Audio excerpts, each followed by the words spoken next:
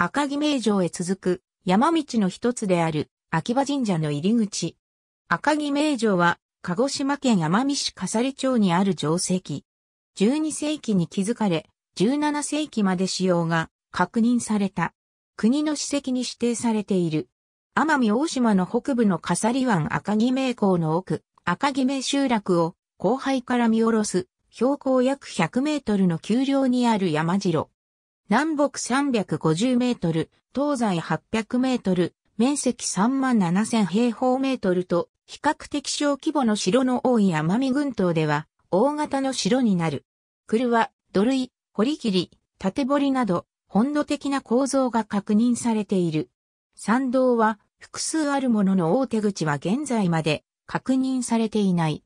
赤城名城の建てられた山は、聖山とされており、城跡の周辺には、秋葉神社、観音寺、菅原神社、厳島神社といった建築物が見られる。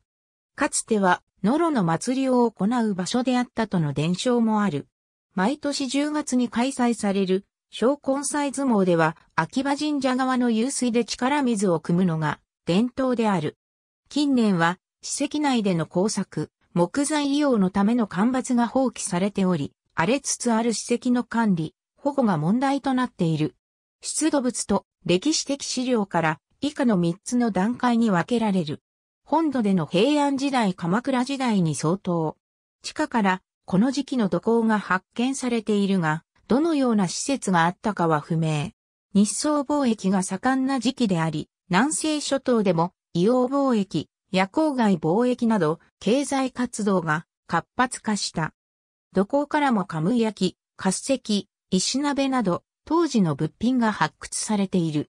なお地下からは、貴族年代不明の土工、ピットも発掘されている。こちらの土工には、多数の鉄紙と小土面が認められ、タイヤの技術が導入されていたことが伺える。本土での南北朝時代室町時代に相当。沖縄本島を中心として、琉球国家が急速に形成された時期であり、また、和光の活動が盛んだった時期でもある。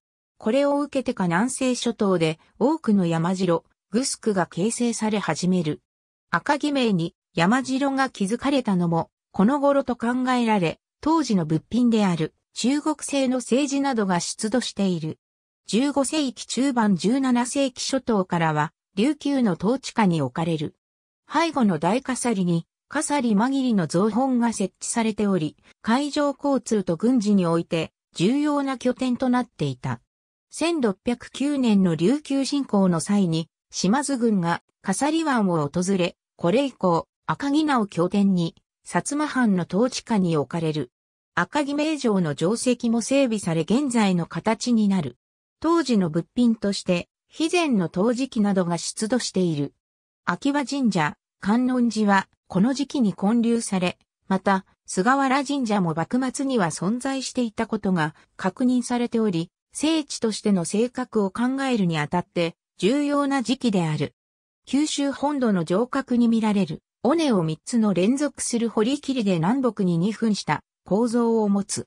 山の最高点を中心として南北22メートル、東西13メートルの平場をなす車があり、主角のあった場所と考えられている。これの周囲に土塁と石積みが存在する。大きな車を取り囲むように7つの帯車が斜面に作られ、斜面下方には多くの縦堀が存在する。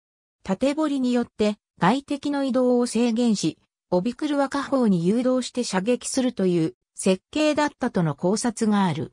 帯車の一部はかつて工作地として利用されており、非常時の食料となるソテツが栽培されていた。中国大陸からの影響で城壁の発達している琉球のグスクと比較すると、石材がほぼ加工されていない防衛機能がやや低いという特徴が見られる。特に加工した石材の少なさは同じく防衛機能の低い先島諸島のものと比べても際立っている。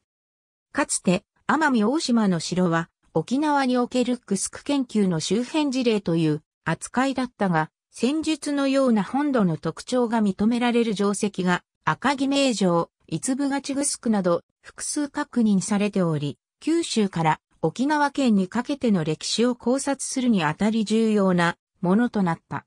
特に赤木名城は規模が大きく特徴が顕著であり、これによって2009年2月12日に国の史跡に指定された。史跡赤木名城跡保存管理計画書。奄美市教育委員会。2017年1月29日閲覧。普遍史跡赤木名城跡をめぐる歴史的外観。奄美市教育委員会。2017年1月29日閲覧。